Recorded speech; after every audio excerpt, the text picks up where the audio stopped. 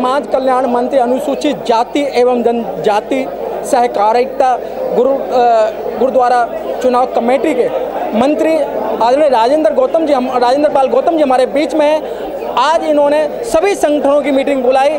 और अनुसूचित जाति, जनजाति की दिलों की धड़कन।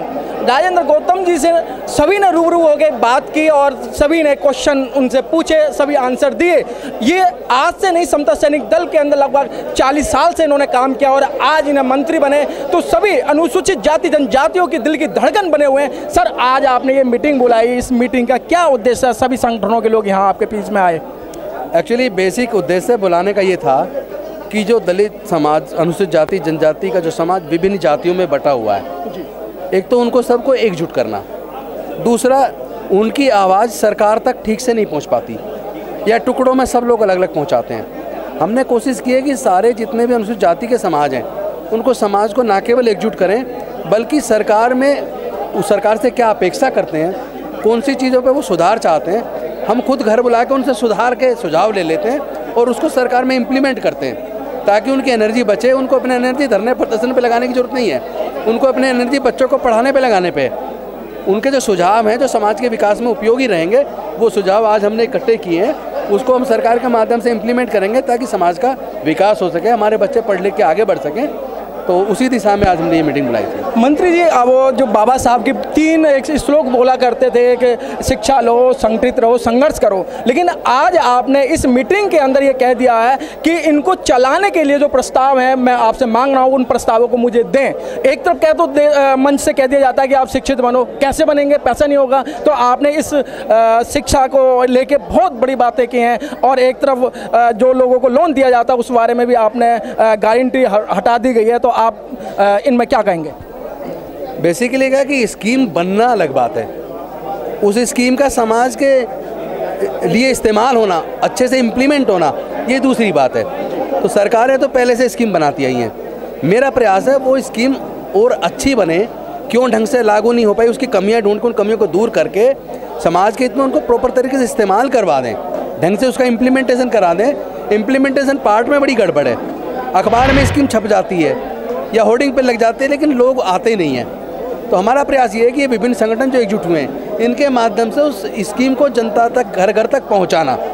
हम उसको 100 परसेंट इफ़ेक्टिव तरीके से इम्प्लीमेंट करवाएँगे और मैं समझता हूँ इस सभा का बहुत बड़ा आ, उसमें भागीदारी होगी और हम अच्छा रिज़ल्ट दे पाएँगे और सरकार जो कह के सत्ता में आई है और जो हम ईमानदारी से कोशिश सरकार कर भी रही है हम उसको और बेहतर तरीके से समाज का विचार लेके व्यूज़ लेके इम्प्लीमेंट करेंगे। आ, और मैं समझता हूँ इसमें हम सफलता ज़रूर मिलेगी। सर, जनता से आप क्या अपील करना चाहते हैं? मैं जनता से ये अपील करूँगा कि आप अनुसूचित जाति के नाम पे एकजुट हों।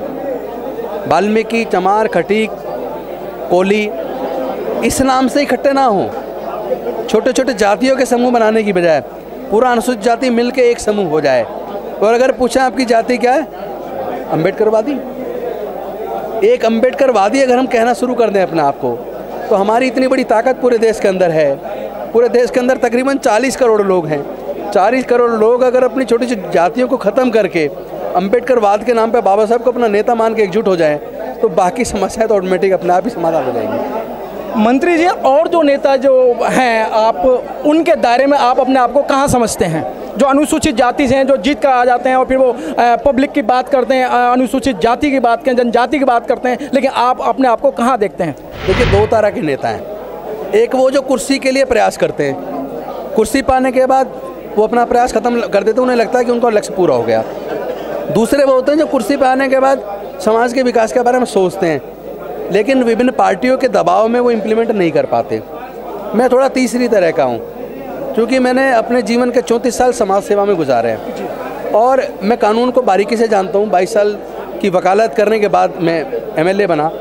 तो मैं ये सोच रहा हूँ कि जो चर्चाएँ हम करते थे समाज के बारे में, जिसको इम्प्लीमेंट के लिए हम डिमांड करते थे बड़े बड़े प्रदर्शन करके मैं सोच रहा हूँ अब तो मैं ही खुद मेरे हाथ में है, कुछ करना।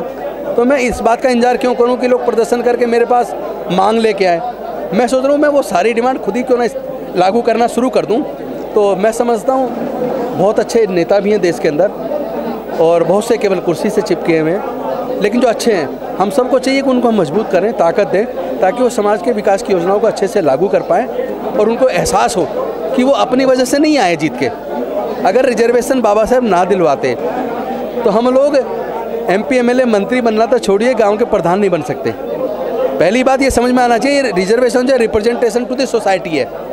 इट- इसका मतलब ये हम M L minister we are representing to the society जो पीछे समाज जिसकी वजह से हम आए हैं, हम उसको रिप्रेजेंट कर रहे हैं। तो हमें उनके उनके लिए योजना बना के अच्छे से लागू करनी पड़ेगी।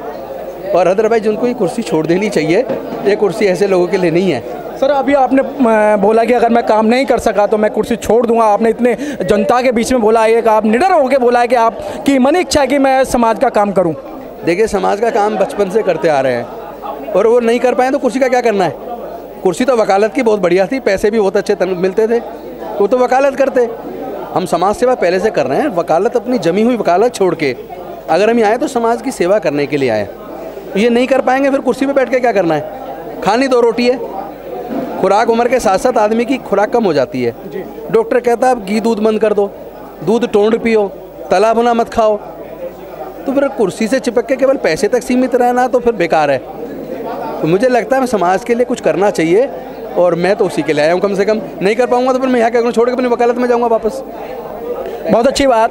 राजेंद्र पाल गौतम जी जो मंत्री हैं, समाज कल्याण मंत्री, अनुसूचित जाति सहकारिता मंत्री और गुरुद्वारा चुनाव प्रबंधक कमेटी के, उन्होंने बड़े अच्छे शब्दों में बोला है कि अगर मैं समाज का काम नहीं कर पाया तो मुझे मंत्री बनने का क्या फ़ायदा? मैं अपनी वकालत करूँगा और ये से नहीं बत्तीस साल और पैंतीस साल से लगातार हम इनको देख रहे हैं। समाज की पीड़ा इनके अंदर है। इन्होंने कानून को पढ़ा है, बाबा साहब को पढ़ा है। तो उन सब चीज़ों को लेके इनके मन के अंदर टीस है और समाज की टीस है इन सब टीसों को देखते हुए। और उन्होंने एक चीज़ और एक बात और कहा कि मैं धरने प्रदर्शन में विश्वास नहीं रखता। मुझे पता है कि मेरे समाज की हालत क्या है। उन सम, समाज की हालत को देखते हुए मैं पहले से ही उन पर अडिल रहता हूँ उन कामों को करने के लिए। मैं तैयार रहता हूँ। कैमरामैन गौतम के साथ मनोज पिपल।